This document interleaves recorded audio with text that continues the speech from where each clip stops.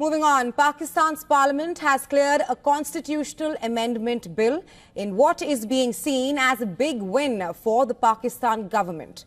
The lower house of the Pakistan parliament, which is the National Assembly, it passed the 26th amendment bill with a two-third majority hours after the bill was passed in the Senate. Pakistan Prime Minister Shehbaz Sharif termed it a historic day for the nation and its people. Sharif stated that the amendment will make the provisions of justice more accessible to the people. He also hailed the members of the National Assembly who voted in favour of the bill. Meanwhile, the Pakistani president has postponed the ratification and signing ceremony of the 26th constitutional amendment bill. On Sunday, the bill was passed by the upper house of parliament with a two-third majority of 65 votes against 4. Now, the 26th Constitutional Amendment Bill includes provisions like capping the age of the Chief Justice at 65 or a tenure of three years, whichever comes first. It also gives the power to appoint the Chief Justice of Pakistan to a parliamentary committee.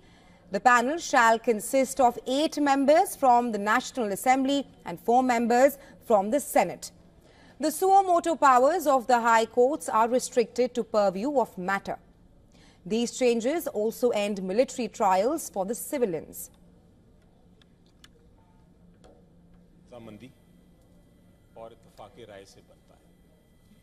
And well, for more on this, the Pakistan Bureau Chief Anas Malik has sent us this report from outside Parliament in Islamabad. Take a look.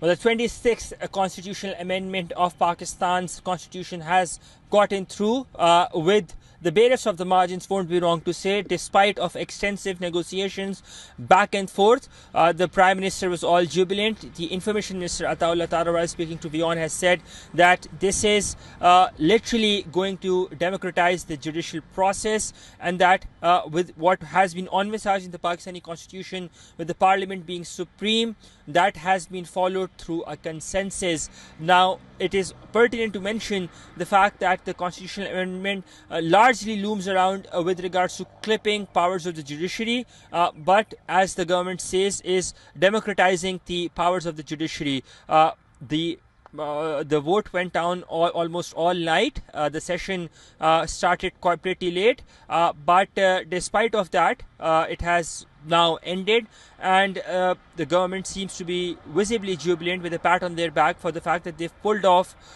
quite of a big deal with regards to the number game. Anas Malik in Islamabad, Pakistan, outside the Pakistani Parliament for WION World is One.